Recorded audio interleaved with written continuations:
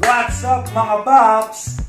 Welcome sa aking YouTube channel, Pops Jera TV. So, ipapakilala ko sa inyo ang aking kakambal, si RJ. Huh? So, nakikita niyo siya mga Pops? Ang totoo, wala akong kakambal mga Pops. We, di nga. Tuturo ko sa inyo ngayon kung paano magkaroon ng kakambal o i-clone yung sarili nyo.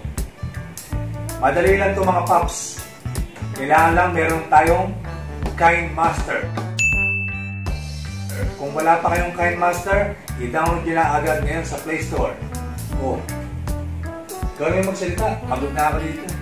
Ikaw naman pa, ikaw naman magpaliwanag sa kanila. So ayun nga mga guys, tulad ng sinabi ni Pops Jera, ah, kailangan natin ng Kind Master at kailangan natin ng palawang na So ituturo na namin sa inyo o ituturo niya sa inyo kung paano gumawa ng clone o paano i-clone ang inyong sarili. Gamit lamang ang ating mobile phone at syempre ang Kind Master. So kung bago pa lang kayo guys dito sa channel ni Pops Jera o pwede rin channel ko,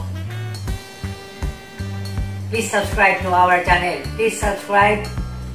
Ano ba talaga? please subscribe. Ay, Please channel. Subscribe na lang kayo, Pops Jera TV. Click the bell below para updated kayo sa mga susunod itong mga videos ni Pops Jera. So, paano mga Pops? Pisa na natin. Let's go! Get ready for the wildlife.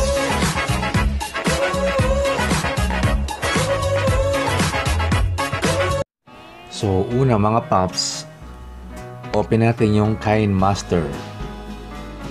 Yan, nandito na tayo sa Kind Master. Click natin, add yung plus sign. Yan. Choose 16 by 9. Yan. May na-record na kasi yung video eh, kanina. Bali, dalawang video yung ni-record ko. Isang pwesto lang yung camera, hindi ko siya ginagalaw. Para pag pinagsama natin, hindi magulo yung video. So, click media. So, hanapin nyo lang yung video na ni-record nyo. And then, ito yon So, click yung isa. Ayan. Ito mga paps yung isang video. So, napapansin nyo, wala pa siyang clone o wala pa siyang kakambal.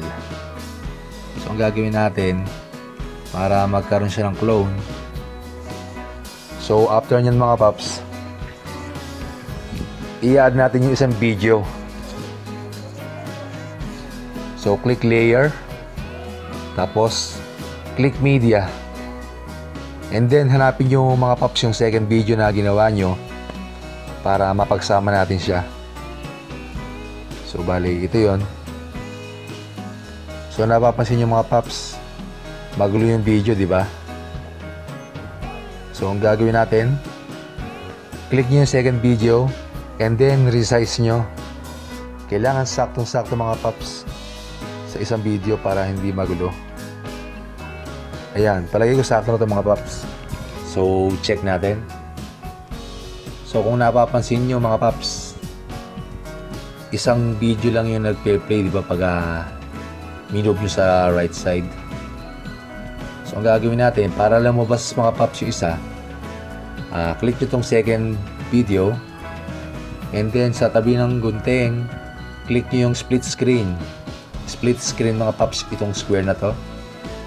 So, hahatiin natin siya. So, dapat nasa bandang kanan lang siya. So, click nyo to. Itong sa bandang baba, sa dulo, sa kanan. Click nyo to. So, ayan, nahati na siya. Di ba mga paps? So, check natin. I-move natin. Ayan. Palagay ko ayos na yan. So, check natin.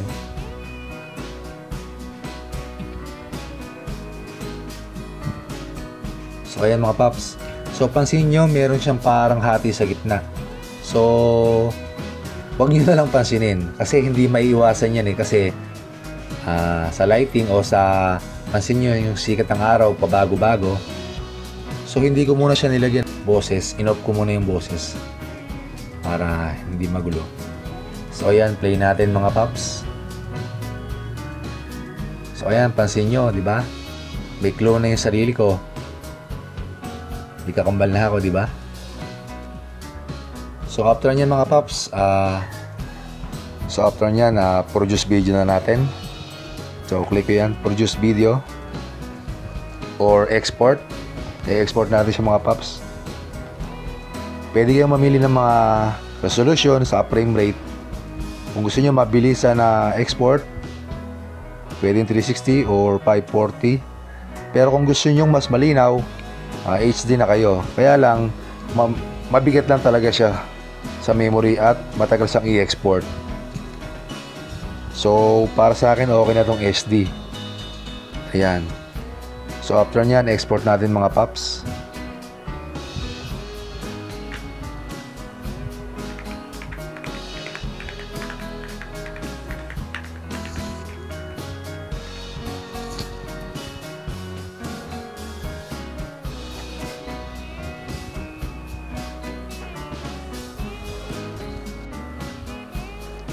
So, ayan mga paps, tapos na natin i-export. So, play natin yung video.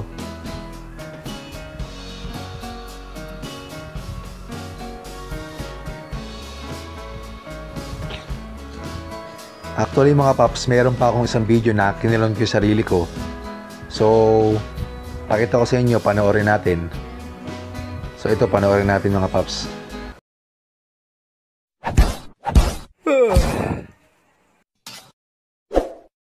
What's up? Request backup. Mobile Legends.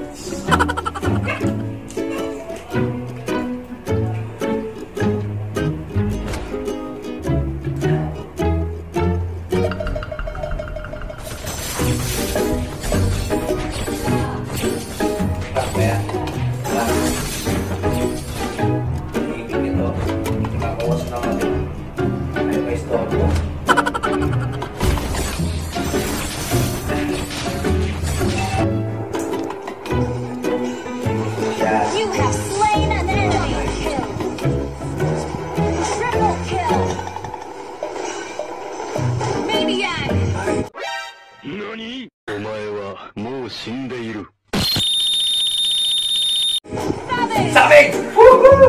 Savage! Savage? So, ayun mga paps, madali lang, di ba? Ganun lang ang dapat gawin para i-clone ang inyong sarili. Basta gawin nyo lang mga paps yung mga itinuro ko. So, again mga paps, don't forget to subscribe to my channel, Pops Jera TV. And then, click the bell below para updated tayo sa mga new videos o mga videos ko pa na gagawin. So, salamat mga paps sa panonood ninyo. Sana nag-enjoy ulit kayo. Hanggang dito na lang mga paps.